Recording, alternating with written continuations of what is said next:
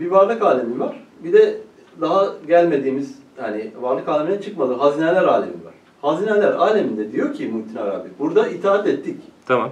Yani aslımız da itaat etmektir. Tamam. Dolayısıyla cezalandırılmamamız lazım diyor. Hı. Ama itaat ettik buraya geldik. Tamam.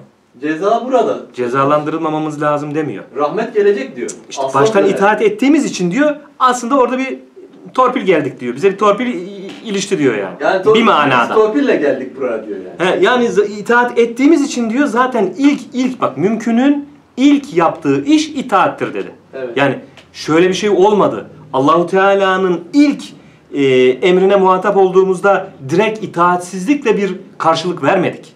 Orada öyle bir ihtimal yok zaten. Zaten yok ama işte burada Allah'ın rahmetinin ilişmesini anlatıyor İbn Arabi Hazretleri burada. Bize diyor zaten öyle bir ihtimal yok.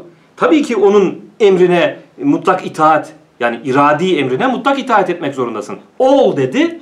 Oldun. Olmama gibi bir lüksün yoktu ki. Yok ben olmayacağım diyebilir misin? Yok. Yok.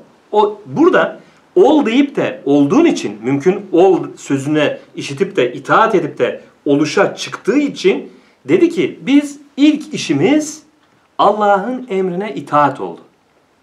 İlk işimiz. İlk icraatımız. Evet. ilk fiilimiz. Bundan dolayı Allah'ın bir rahmetine mazhar olduk dedi.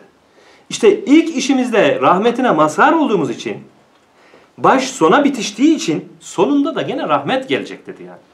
Gene rahmetine mazhar olacağız dedi. Bunu kastetti İbn Arabi Hazretleri. Aradaki emir araya emir emiri sokuyor. Arada itaatsizlikler olabilir. Emir girdi devreye. Ama en sonda baştan itaat ettiğin için sonda rahmet sana ulaşacak dedi. Konuyu şöyle şey yapalım tam yerinde hocam. Araya hani muhalefet dedi ya, muhalefetin de girme nedenlerini anlattı. Anlattı ve zaten şunu da söyledi. Muhalefetsiz de asla olmaz dedi konunun sonlarında. Evet. Evet. Muhalefetin olmaması Muhalefet düşünülemezdir dedi. Muhalefet Evet. olmadan hakikat çıkmaz ortaya. Çıkmaz dedi. Evet. Tabi. O da olacak dedi. Çünkü zaten Allahu Teala da ne diyor?